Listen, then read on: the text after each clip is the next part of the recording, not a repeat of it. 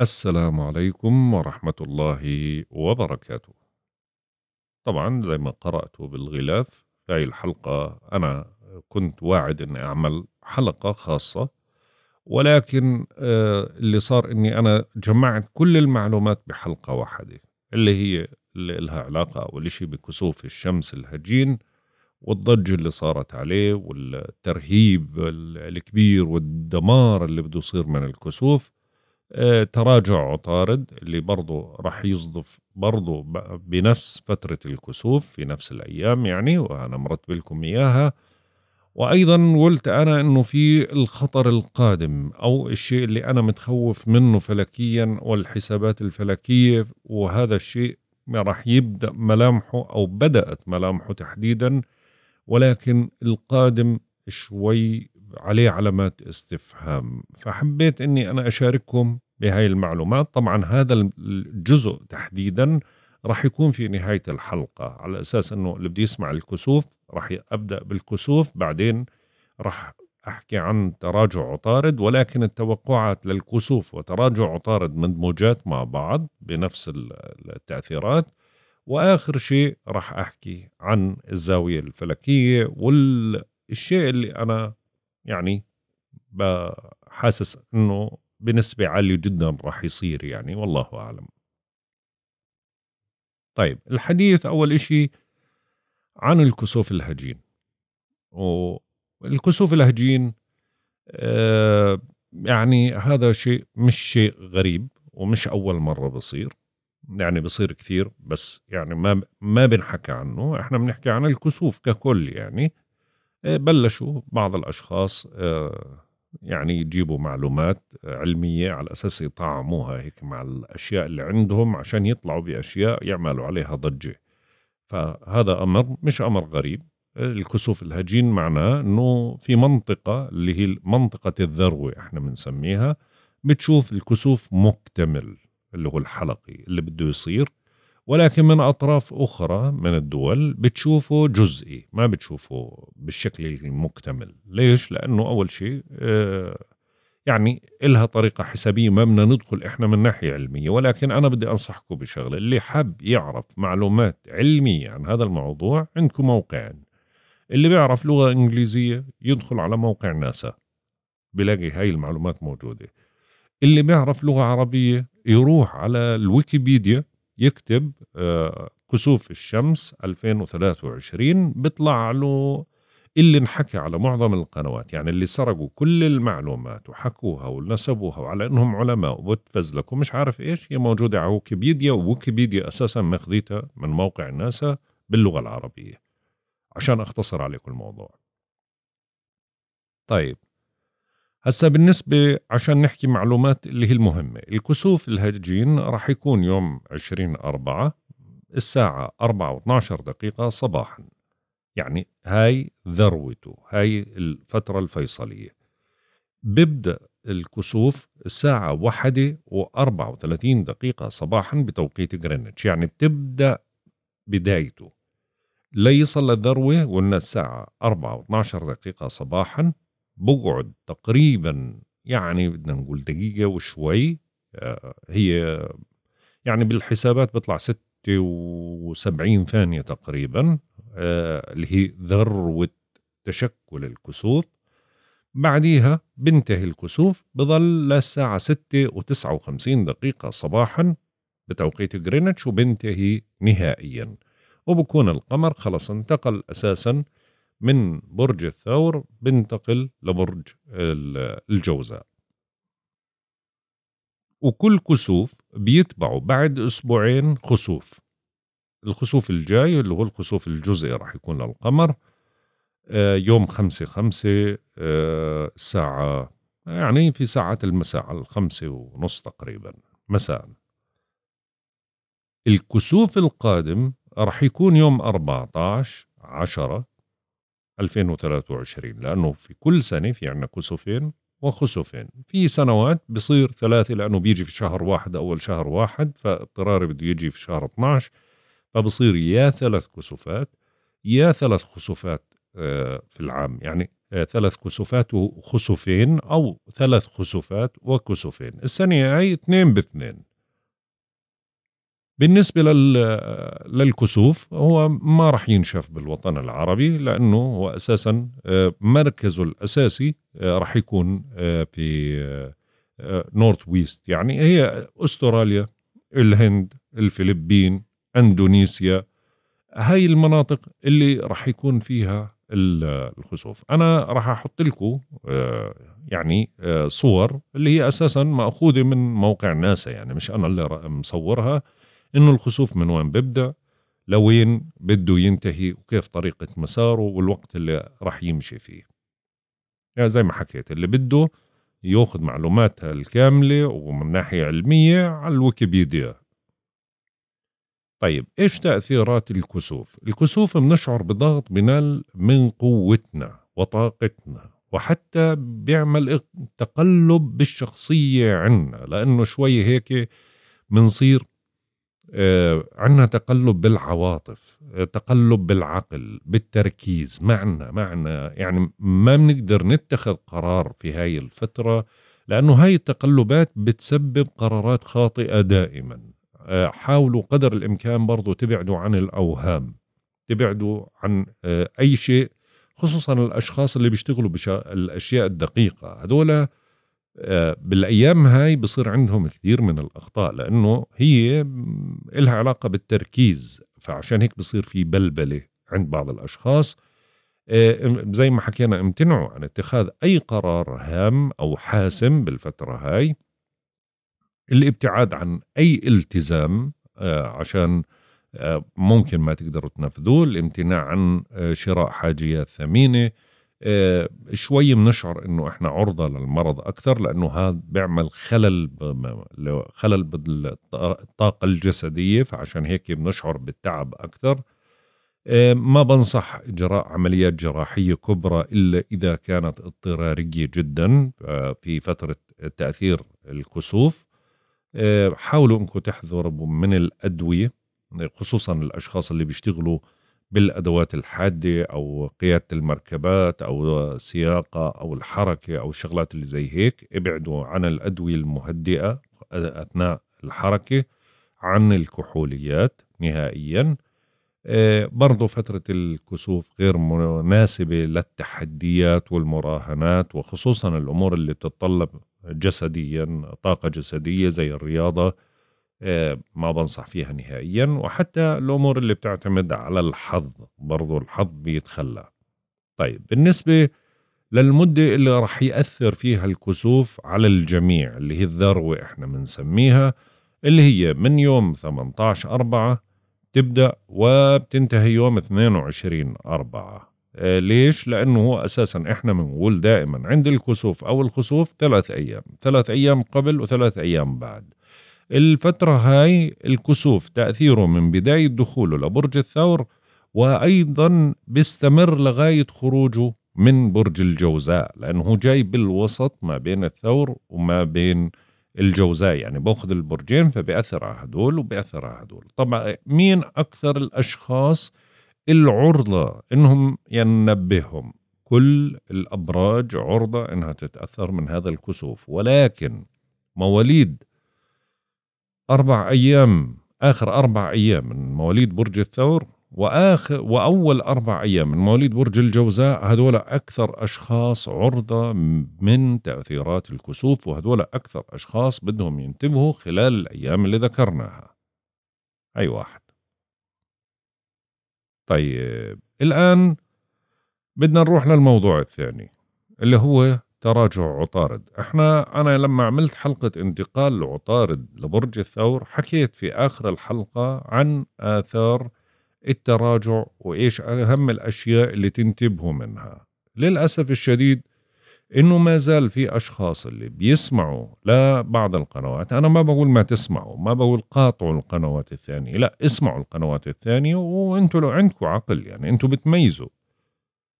في أشخاص بيجوا بيضلوا يبعثوا لي ويقولوا لي إنه في ناس بتقول لك إنه عطارد سريع وصغير وما له تأثيرات. عطارد أنتوا بتبالغوا بتأثيراته. يا عمي أنا مش أنا اللي ببالغ ومش أنا اللي بحكي عن هاي. هذا من آلاف السنين وهم بيحكوا عن عطارد. عشان واحد يا مش الزلمة مش مقتنع في عطارد شايفه صغير. إيه، الزلمة نظره أكبر بتطلع الإشي الكبير. هو حر. ولكن بالعقل وبالعلم وبالمنطق. أنا أعطيكم شغلة. دائما أسرع إشي بيأثر على البني آدمين أو على هذا الكون الكوكب بسرعته. يعني أسرع واحد القمر. فعشان هيك إحنا بنذكره في توقعاتنا اليومية. بعدين بنيجي بنطلع على اللي بعديه بالسرعة. بنيجي على عطارد لأنه هو يعني كل 21 يوم مثلا. بعدين بنطلع على الشمس اللي بتقعد شهر. بعدين بدنا نطلع على الزهرة. ليش؟ لأنه بتقعد هي 40 يوم. بعدين بدنا نطلع على المريخ. بقعد 60 يوم. يعني هدول الأسرع هم أكثر تأثيرا. وكل ما زاد بطء حركة الكوكب كل ما خ... يعني أجت تاثيراته بسيطة بالنسبة لنا أو أجت بالتدريج ما بتجينا هيك طس اللي إحنا ما, ما, ما مفتور راسنا لا السرعة هي اللي بتعطي التأثير الفوري البطيء هو اللي بعطيك إياه على مهل شوي شوي يعني زي زحل زحل ما بيجي والله بعطيك إياها شو هيك بسرعة بيعمل لك النحس لا لا لا بيجيب لك النحس شوي شوي وبركب لك إياه لحديت ما إيش يجيب بالآخرة البني آدمين. المشتري نفس الشيء كل سنة عشان هيك آثاره بنحس فيها أكثر من آثار آه، زحل. وبعد مرات يعني من سرعة الآثار تبعت المشتري إحنا ما بنحس فيها. يعني لأنه آه، يومين بده يأثر على درجتي أو ثلاث أيام بده يأثر على درجتي بعدين بده ينتقل أو أربع أيام أو خمس أيام. بعدين يعني ما بنحس. بالإيجابية الكاملة للمشتري. بعديها بنيجي على الكواكب اللي أكبر والأبطأ بالحركة. فبالعقل دائما نأخذ الإشي كل ما زادت سرعته كل ما كان مؤذي أكثر أساسا. الله يعيننا على الأيام اللي جاية. طيب بالنسبة للتراجع إحنا حكينا إنه التراجع هذا بيبدأ من يوم 21 أربعة وبيستمر لغاية 15 خمسة يعني بده يقعد 24 يوم. بيبدأ التراجع الساعة 8 و34 دقيقة صباحا من صباح يوم 21 أربعة بيستمر لغاية يوم آه، يعني ليوم 15 5 الساعة 3 و16 دقيقة صباحا. بعدين بده يرجع للحركة الأمامية في نفس برج الثور وبده يظل في برج الثور بحركة أمامية لغاية يوم 11 6 ليخرج نهائيا. صباح 11 6 بخرج نهائيا من برج الثور طيب عطارد هو المسؤول عن كل شيء. له علاقة بقدرة التفكير نقل أفكارنا للغير آه، الدراسة آه، الذاكرة بيتحكم بالاتصالات بيتحكم بالمواصلات. ومن صفاته الفضول والعفوية قوة الاتصال والتعبير عشق الحرية قوة التفكير تحليل الأمور كثرة الحركة. من أهم الأشياء اللي بتأثر على أي إنسان هي في حال إنه كان منتحس أو كان بتراجع بيأثر على الفكر وبيأثر على العصبية. بيعمل عصبية زيادة عن اللزوم. طيب نرجع بشكل مختصر.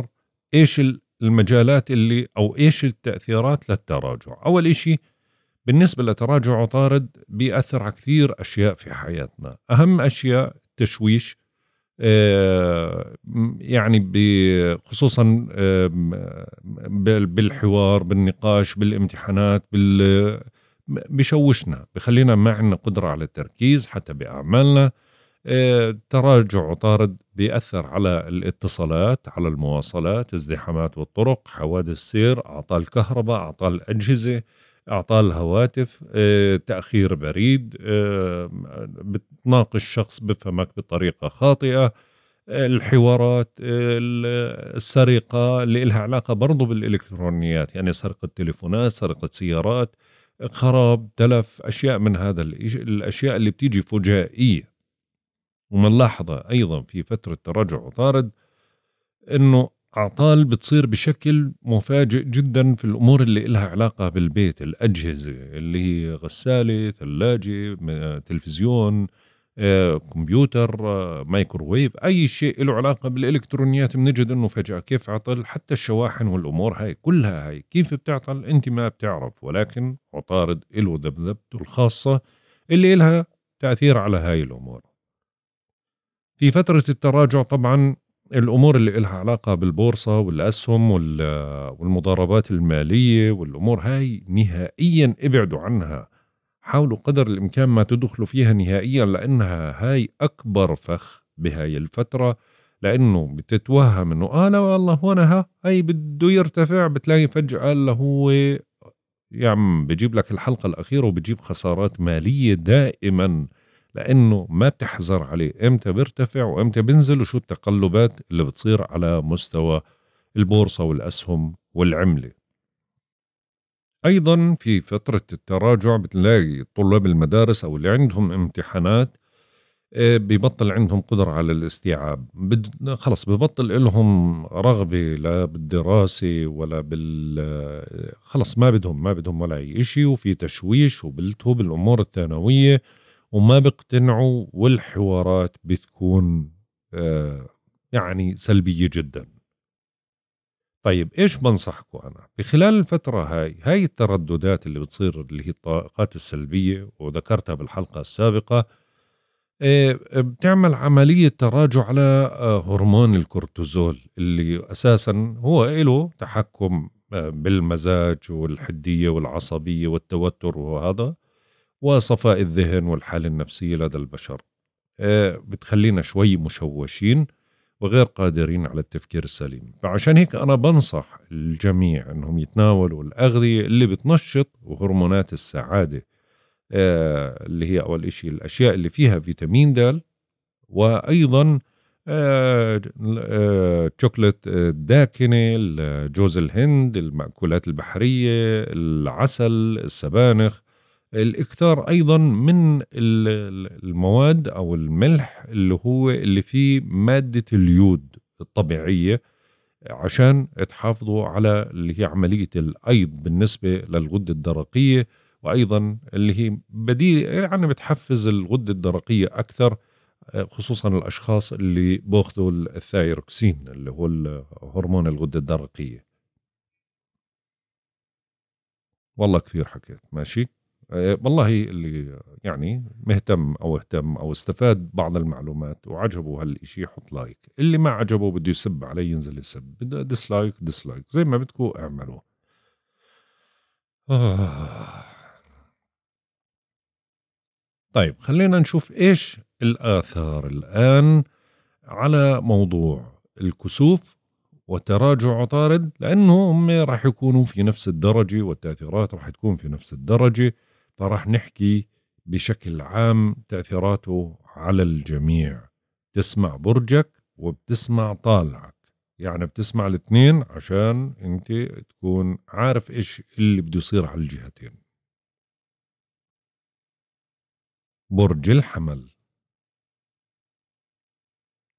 بالنسبة لمواليد برج الحمل طبعا التراجع والكسوف راح يكونوا في بيت مالك. فعشان هيك بتأثر عليك في الأمور المالية ممكن تتعرض لخسارات كبيرة إذا ما كنت منتبه فعشان هيك بدك تكون حريص على كل الأمور المالية والتعاملات المالية والعقود وما تراهن وما تغامر على الوضع المالي. ممكن إنك تحاول تطالب بحقوق لإلك وتتأجل. أهم إشي إنك ما تحاول الدخول بأي عقود مالية أو قروض جديدة. ما تكفل أحد ما تسلف أحد آه، فلوس نهائيا في خلال الفترة القادمة. ممكن آه، تقع ضحية لبعض آه، الأشخاص اللي ينصب عليك أو يحتالوا عليك عليك ترتيب الأولويات أو تأجيل أي حوار غير مجدي مع المحيطين بك لأنه العصبية رح تغلب على طباعك. علاقاتك متوترة رح تكون مع رفاقك بالعمل. ممكن ترتكب بعض الأخطاء في آرائك أو أحكامك فعشان هيك بدك تتجنب إصدار القرارات وأيضا تتجنب توقيع الوثائق المهمة. برج الثور. بالنسبة لمواليد برج الثور طبعا هنا يعني أنت من أكثر الأشخاص اللي راح يتضرروا من هذا الموضوع لأنه راح يكون التراجع في برجك عندك يعني. عشان هيك بدك تكون يعني بدك تكون حذر آه، من آه، فقدانك آه، أو فقدان الرغبة بالقيام بأي أمر جديد. ما تتخذ قرارات جديدة وما تدخل بأشياء جديدة وخصوصا إنك راح تفقد رغبتك في الأمور اللي لها علاقة بتطوير المهارات أو التعلم رغبتك بالقراءة المطالعة ممكن يصيبك اليأس في كثير من المواقف. ممكن يحصل معك خلافات في الرأي مع المقربين. ممكن يتأدي آه، هاي الفترة لقطع بعض العلاقات. بدكم تنتبهوا لأغراضكم بشكل جيد. آه، ممكن تفقد شيء ثمين. آه، يعني فترة فيها بعض الإرهاق والإجهاد. فعشان هيك دير بالك من عصبيتك تلهفك سرعة انفعالك. عليك إنك تتجنب اتخاذ القرارات المهمة زي ما حكينا وكذلك احذر أثناء تنقلاتك لأنه التشويش بيكون واضح. وممكن تسمع أخبار متناقضة وهاي الأخبار يعني ما تأخذ فيها مباشرة وتندفع لاتخاذ قرارات مضادة لإلها وفي الآخر تكتشف إنه حكم غلط أو الموضوع انتقل لك بشكل خاطئ. برج الجوزاء. بالنسبة لمواليد برج الجوزاء طبعا هنا التراجع أول إشي هذا كوكب عطارد اللي بيأثر عليك مباشرة كوكبك. وأيضا التراجع والكسوف راح يكونوا في بيت متاعبك. عشان هيك علاقاتك بتكون متوترة. خصوصا بالوسط المقرب لإلك لا سيما بعلاقاتك الأسرية. آه، ممكن تكون متمرد على الكثير من الأعراف والتقاليد بهاي الفترة وهذا شيء راح يضر فيك بشكل مباشر. آه، حاول قدر الإمكان أنك ما تجهر برأيك بشكل انفعالي عشان هذا الشيء ما يسبب لك الكثير من المشاكل في من علاقاتك. لا تفكر بتغيير نمط آه، حياة المحيط بك لأنه عادي جدا راح تواجه معارضة كبيرة. احذروا من الدخول في مواجهات مباشرة لأنها ممكن تتحول لخلاف.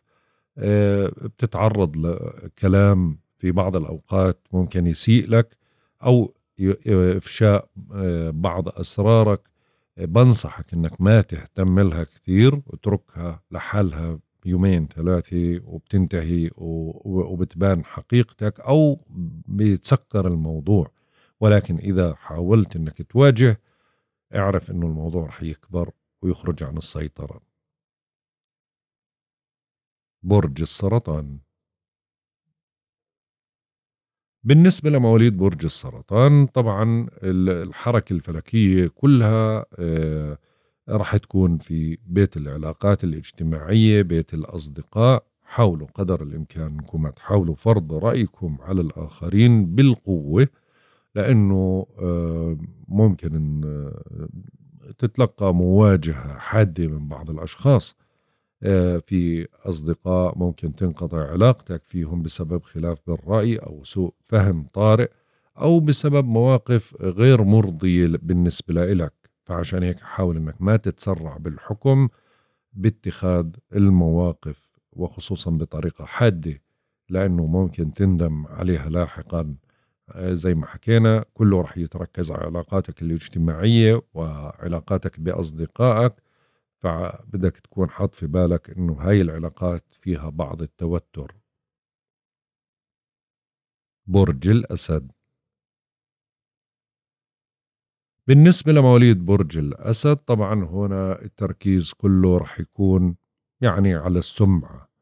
آه، على علاقاتك الاجتماعية بمسؤولينك على علاقاتك بأمور إلها علاقة بالعمل. فعشان هيك بدك تركز على الوضع الاجتماعي على سمعتك حاول قدر الإمكان آه، إنه تنتبه إنه في أشخاص ممكن يتآمروا عليك بالخفاء يحاولوا إنهم يشوهوا صورتك أمام الآخرين. بدك تضبط أعصابك وتكون حكيم. آه، ممكن يحاولوا إنهم يستغلوا نقطة التقليل من آه، منجزاتك أو إنجازاتك أو أعمالك المختلفة.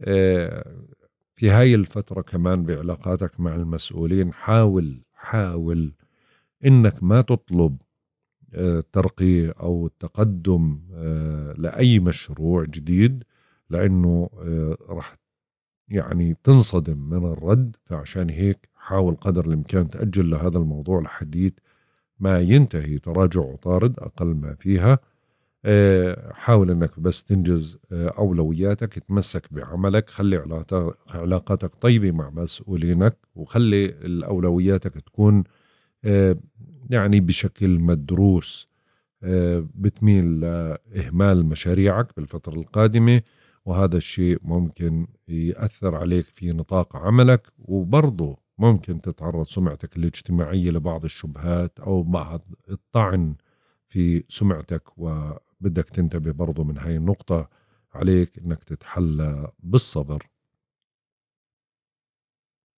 برج العذراء.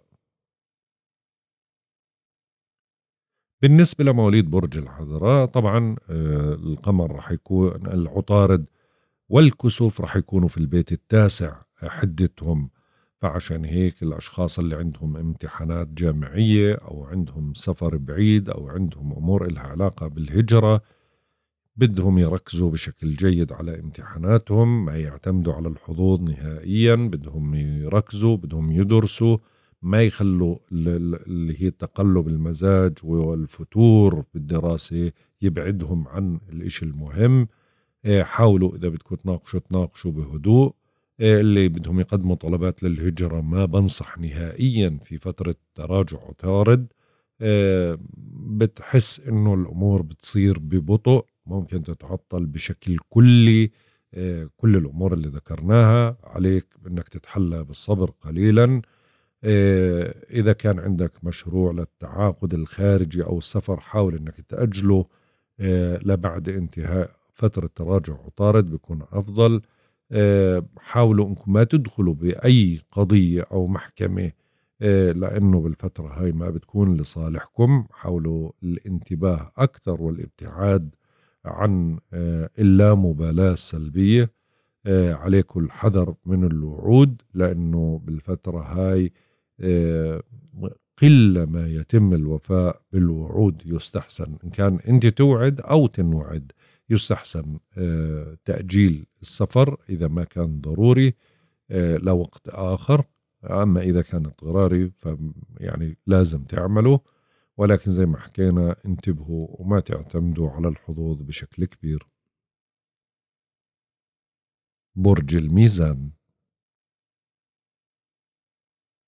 بالنسبة لمواليد برج الميزان طبعا هنا عملية الحركة الفلكية كلها هاي راح تكون في البيت الثامن فعشان هيك كل ما يتعلق بالأمور الأموال المشتركة اللي معك شريك فيها إن كان بنك ضريبة تأمين ميراث آه، أو نقل ملكيات فهذا كله بتأثر بشكل سلبي. فعشان هيك آه، الكثير من المقربين بيحاولوا إظهارك بمظهر الخاسر. هاي أول نقطة بدك تنتبه لها.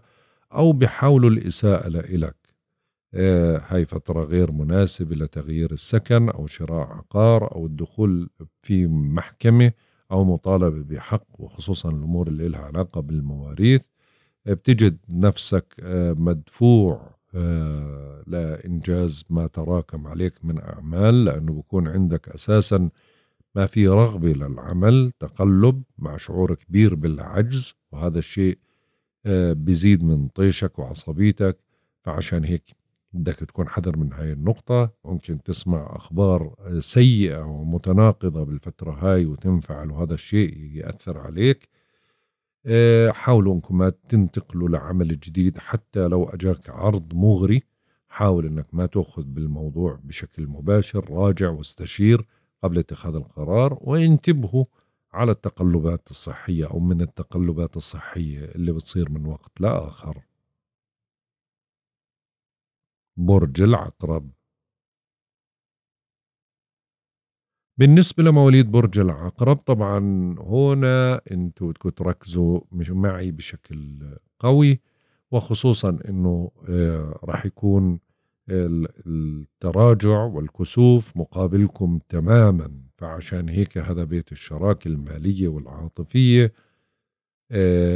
فهاي هدول الأمرين اللي هي العاطفة والعمل بيكونوا على المحك بسبب التراجع والكسوف مع بعض في نفس الوقت. آه، فممكن تنشأ خلافات طارئة لأتفه الأسباب. فبدك تكون حذر تضبط انفعالاتك ورغباتك في التعبير المباشر عن رأيك. حاول آه، يعني ممكن إنك ما تكون محط إعجاب الآخرين آه، توجه لك بعض الانتقادات أو بعض التلسين آه، أو ممكن كل الآراء والانفعالات والحب والغراميات كلها هاي تكون ضدك تماما تنفهم بشكل خاطئ. فعشان هيك بتتأثر صحتك بشكل كبير في هاي الفترة آه، في خلافات ونزاعات مع الشركاء أو مع زوجتك بدك تكون حذر وتكون عقلاني وتعرف كيف تتعامل فيها بشكل منطقي وعقلاني وانتبه من العصبية والحدية وتقلبات المزاج. برج القوس. بالنسبة لمواليد برج القوس طبعا هنا التركيز رح يكون على العمل وعلى الصحة. فعشان هيك حاولوا قدر الإمكان أنكم تركزوا على عملكم بشكل جيد. حاولوا ما تنتقلوا من عمل لآخر حاولوا تخلوا علاقتكم بزملائكم بالعمل تكون واضحة وبشكل جيد. آه، حاول أنك يعني آه، تتحامل على نفسك لأنك راح تشعر بثقل بالعمل وبأنك عاجز عن تحمل المسؤولية وبأنه رأيك غير مقبول من الآخرين. ممكن يتراكم عليك العمل أو تحس بالتقصير. عليك الانتباه لصحتك بشكل فعلي. حاول إنك ما تهمل أي طارئ أو عارض صحي في هاي الفترة. آه، فترة غير مناسبة للقيام بأي عمل جراحي أو إجراء عمليات جراحية طبية أو تجميلية. آه، في توتر بتكون على مستوى علاقاتك مع رفاقك بالعمل. حاولوا إنكم تحذروا من الأغلاط الناجمة عن عدم الانتباه في العمل. وانتبهوا للأمور العصبية اللي هي التوتر والقلق وردات الفعل العصبي اللي ممكن تكون سلبية بشكل كبير. برج الجدي بالنسبة لمواليد برج الجدي طبعا هون التركيز راح يكون على أمور إلها علاقة آه بيت العاطفة بيت الحب بيت الأبناء. فعشان هيك بدك تنتبه بشكل كبير آه هذا هاي الزوايا أو هذه الأمور اللي هي التراجع والكسوف بيخلوك تبتعد قليلا عن الأجواء المرحة شوي بتشعر بالاكتئاب تقلب المزاج بتحس إنه الأمور ما بتصير معك بالشكل اللي بدك إياه بتصير بطيئة جدا. ممكن تتعطل بعض الأمور بشكل كلي عليك الصبر قليلا. بتميل لأخذ الأمور بجدية ولكن مع الشعور بعدم القدرة على التفكير الصحيح فعشان هيك ممكن تطلع بأحكام خاطئة فما تتخذ قرارات آه، قدر الإمكان آه، اللي بيكون عنده أي مشروع آه، أو عقد خارجي أو سفر حاولوا تأجيله حتى الانتهاء فترة التراجع تحديدا وهذا الشيء بيجعلك متردد ممكن تسمع خبر غير صار عن شخص قريب لإلك وبرضو الأمور بتتعلق بالأبناء وبتتعلق بالأحبة حاول ضبط الأعصاب أثناء تعاملك معهم عشان آه، يعني الأمور ما تروح باتجاه تفقد السيطرة عليه. برج الدلو بالنسبة لمواليد برج الدلو طبعا هون التركيز على البيت على العائلة على الأب تحديدا النظام الأسري.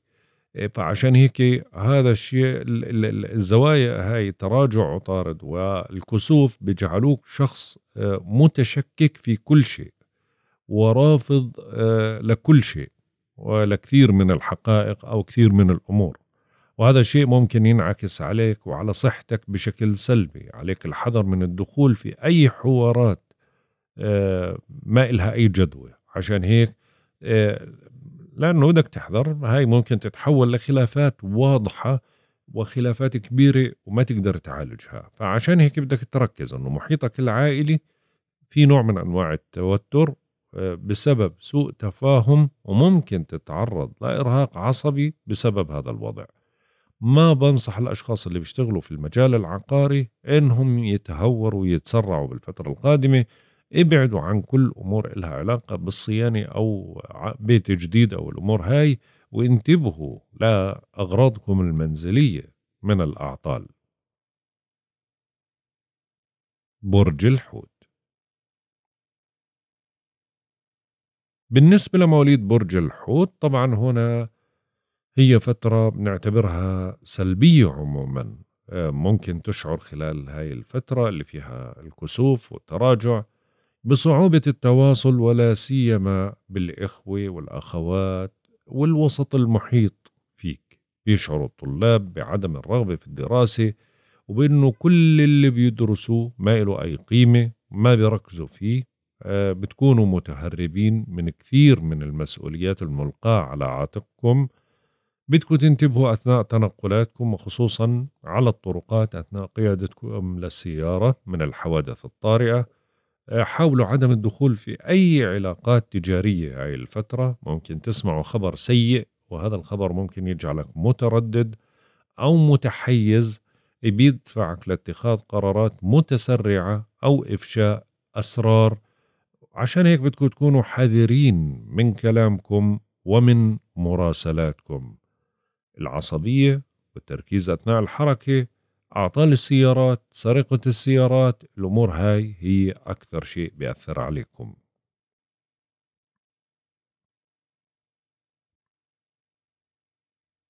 أما بما يخص الإشي اللي أنا بدي أحكي عنه اللي قلت بدنا نأجله لآخر الحلقة طبعا كثير أنا حكيت في الحلقة وهي حلقة راح تكون طويلة كثير ولكن فيها كم كبير من المعلومات. إن شاء الله إنه تستفيدوا منها بتحاليلها أو بعلميتها ما زي ما بدكم يعني. آه، طبعا اللي أنا بدي أحكي عنه اللي هي كل هاي الأمور اللي هي الكسوف وتراجع عطارد وزاوية التربيع السلبية اللي بين الشمس وبين بلوتو جاية كلها بنفس التأثيرات يعني بنفس الفترة بنفس الأيام. فعشان هيك كلها بتتصادف وبتتجمع مع بعض. هذا التجمع كله راح يكون في برج الثور. طيب أول إشي بالنسبة لزاوية التربيع هاي حكينا إنه هاي الزاوية بتثور أعمال عنف ومواجهات إلها علاقة بالنيران والمعادن. طبعا الآن اللي بذكره كل يوم إنها هي راح تظل مأثرة من يوم 13 4 لغاية 28 4 مش هذا المهم. المهم ذروتها إنها هي والكسوف وتراجع عطارد في نفس الفترة في نفس اللي هي الحم الكبير لهي الزوايا وبتيجي على نفس الدرجات. هذا الأمر خلاف هذا العنف هو في عنف قادم. لا محالة إنه في عنف قادم يعني. وعنف آه، ممكن يكون العنف هذا مش عنف بس عسكري. يعني الأمور العسكرية واردة بالفترة القادمة ولكن العنف القادم واللي أنا بدي أنبهكم منه عنف الحرب المالية عنف الاقتصاد عنف البنوك عنف القروض عنف انهيارات يعني حاولوا انكم تفهموا الاشي اللي أنا بقوله بشكل أنتم تحللوا لحالكم لأنه أنا في بلد ما بقدر احكي بصريح العبارة إيش اللي رح يصير. ولكن بدكم تنتبهوا اللي في عمله يركز على عمله بشكل جيد اللي بيشتغلوا في الشركات الكبيرة. الشركات الكبيرة في الفترة القادمة راح تروح موظفين آه، على مستوى العالم. كل الكبار خايفين على فلوسهم. قبل فترة شفنا إنه في بنوك أعلنت إفلاسها. هذه كانت قطرة اللي جاي أوسخ وأصعب. اللي معاه فلوس. يجمدها بإشي مضمون. مثلا الذهب. حتى لو بيرتفع حتى لو عالي. عشان تضمن أمان انتقل لشيء آخر. إشي مضمون ما بفقد قيمته ترتفع قيمته ما بتنزل قيمته. الأمر مش بعيد يعني الأمر ما راح يأخذ أشهر لآخر السنة والمتوقع والانهيار والضرب الاقتصادي والمش عارف إيش لا لا لا لا الأمر سريع. في شيء قادم. آه، ممكن بخلال الفترة هاي والأرجح بخلال الشهر القادم اللي هو شهر خمسة. لأنه في شهر خمسة في عنا زاوية حادة جدا طيلة الشهر. وهاي الزاوية إلها علاقة بالمال وإلها علاقة بالبنوك وإلها علاقة بالجيوش وإلها علاقة ببلاوي. فالله يستر ما بقدر أشرح أكثر من هيك حاولت وكثير من الأشخاص اللي بيعرفوني لما جيت تناقشت معهم في الموضوع قالوا لي سعيد ما تغوط في هذا الموضوع لأنه هذا الموضوع آه راح يأذيني أنا. فقلت لهم ما بقدر أنا وعدت إلا إني أحكي عن هذا الموضوع ولكن أنا لمحت واللبيب من الإشارة يفهموا وربنا يستر على الجميع ويحفظ الجميع ويبعد عنا هذا الأذى وهي التآمرات وهي التقلبات اللي قاعدة بتصير شيء مش طبيعي. فاللي لازم يصير بنظرهم هم شيء مش طبيعي عشان تستقر الأمور. عشان صراع السلطة يعني. طبعا هسا اللي بده يسب ينزل يسب واللي بده يغلط يغلط. الحلقة طويلة بعرف. آه كثير. آه رغيت كثير. آه ناس بتقول لك إحنا مش فاضيين ورانا مئة ألف شغلة. بدنا نحضر مسلسلات بدنا نحضر ناس تانية بتحكي عن النيزك اللي بده يضرب بالأرض والشهب والمش عارف إيش هاي اللي اللي بتصير قاعدة. فأنت قاعدة بتحكي لنا في أشياء يعني بدها تصير فلا نروح على ناس اللي بتكذب علينا عشان الأشياء اللي ما بدها تصير ننشرها ونشيرها. آه، يعني. فاللي بده يسب يسب اللي بده يحط like يحط بده يحط dislike يحط آه، بده يطلع من القناة يطلع بده يشترك بالقناة يشترك. أنتوا حرين اعملوا اللي بدكم إياه. هيك بنكون انتهينا من أخبارنا الفلكية. والله أعلم. يا رضا الله ورضا الوالدين. سبحانك اللهم وبحمدك. أشهد أن لا إله إلا أنت. أستغفرك وأتوب إليك. أترككم في رعاية الله وحفظه. إلى اللقاء.